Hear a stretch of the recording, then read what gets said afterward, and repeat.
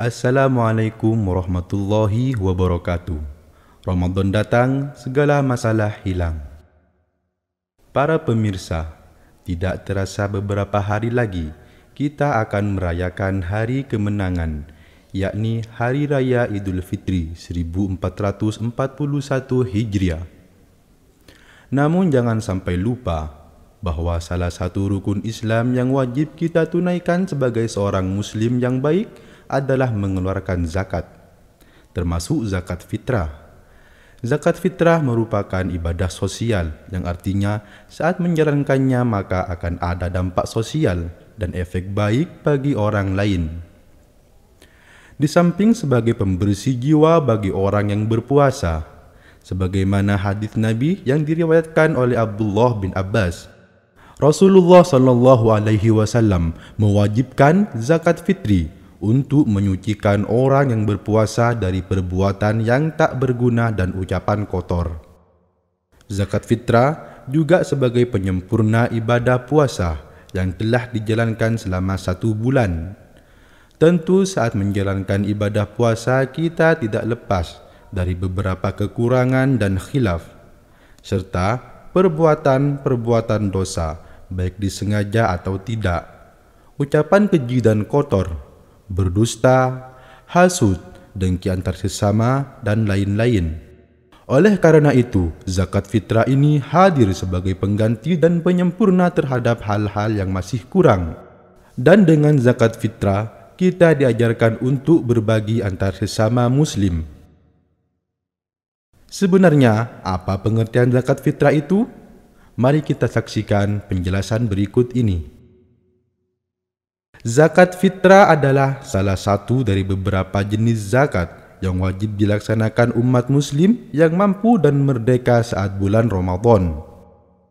Zakat fitrah dikenal juga dengan istilah zakat badan dan merupakan rukun Islam yang keempat. A. Yang wajib mengeluarkan zakat fitrah 1. Beragama Islam 2. Merdeka atau bukan budak Tiga, menututi dua waktu dari bulan Ramadan dan bulan Syawal. Empat, mempunyai harta yang lebih dari kebutuhan sehari-hari untuk dirinya dan orang-orang di bawah tanggungannya pada malam sampai hari raya. B. Waktu penyaluran zakat fitrah. Satu, waktu jawas atau boleh. Dimulai dari awal bulan sampai akhir bulan Ramadan. Dua, waktu wajib setelah matahari terbenam pada akhir bulan Ramadan. Tiga, waktu afdol setelah melaksanakan solat subuh pada akhir bulan Ramadan sampai sebelum mengerjakan solat Idul Fitri. Empat, waktu makruh saat melaksanakan solat Idul Fitri sehingga sebelum terbenamnya matahari. Lima, waktu haram setelah matahari terbenam pada hari raya Idul Fitri.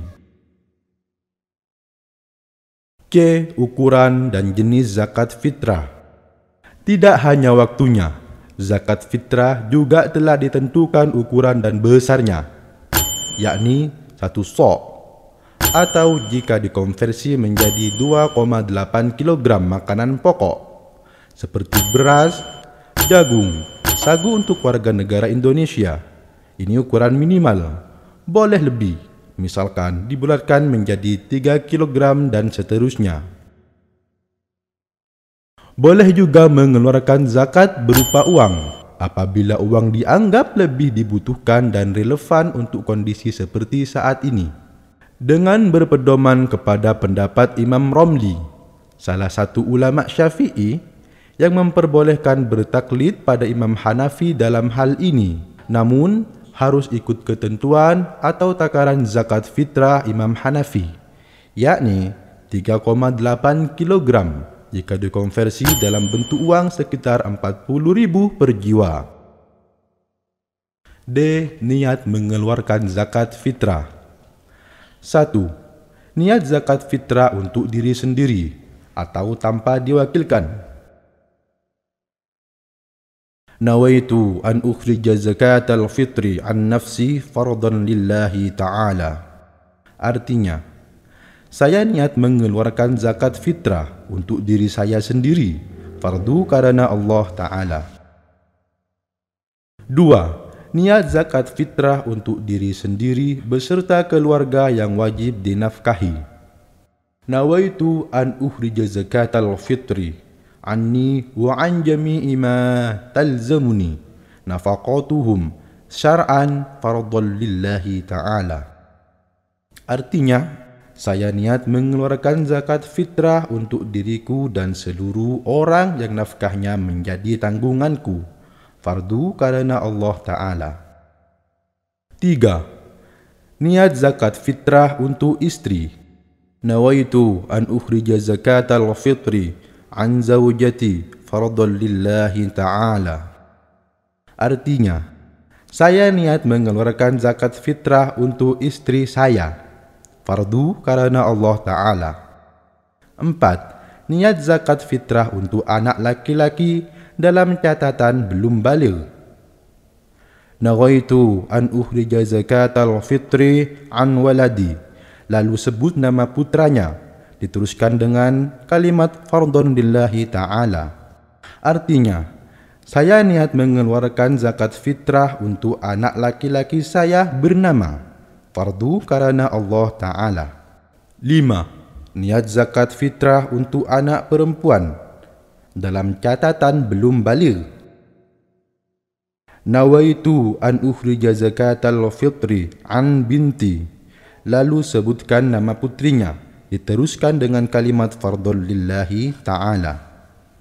Artinya, saya niat mengeluarkan zakat fitrah untuk anak perempuan saya bernama fardu karena Allah Ta'ala. 6. Niat zakat fitrah untuk orang yang diwakilkan.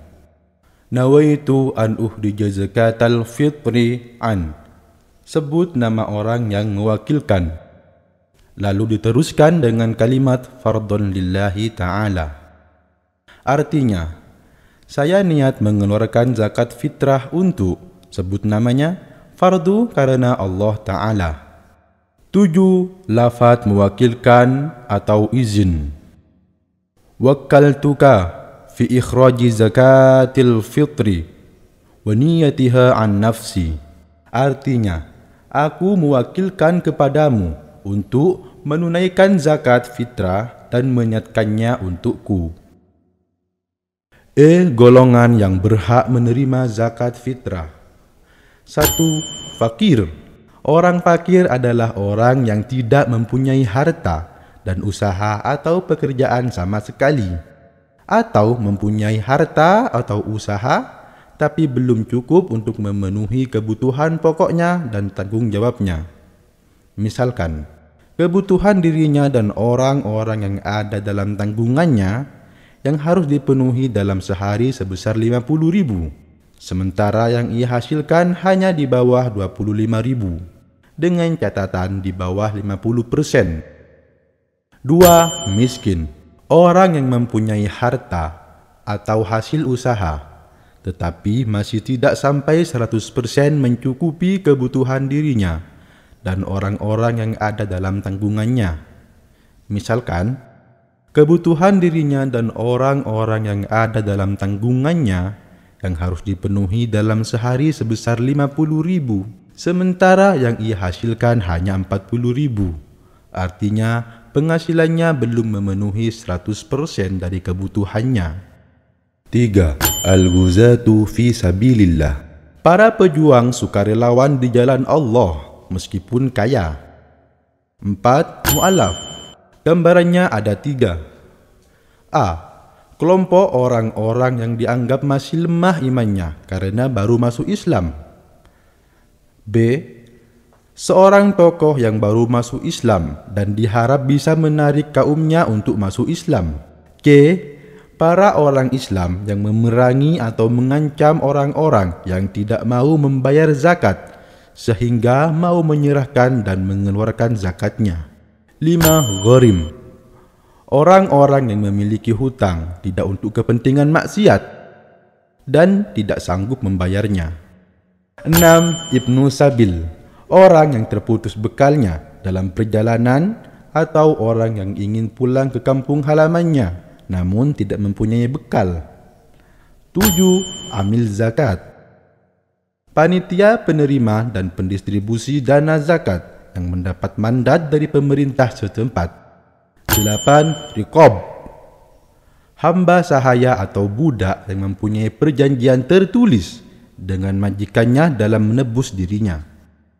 F. Doa mengeluarkan zakat Rabbana taqabbal minna innaka antas sami'ul alim. Artinya, Ya Allah, terimalah dari kami. Sesungguhnya engkau maha mendengar lagi maha mengetahui. G. Doa saat menerima zakat fitrah.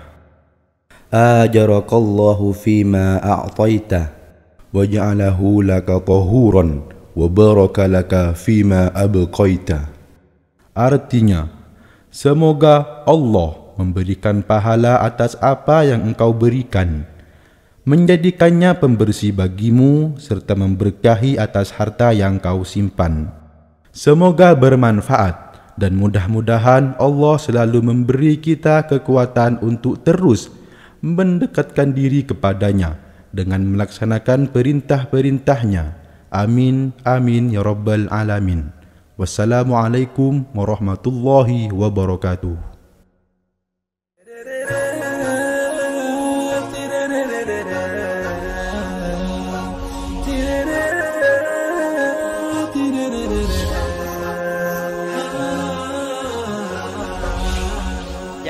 Lupa like and subscribe video kami.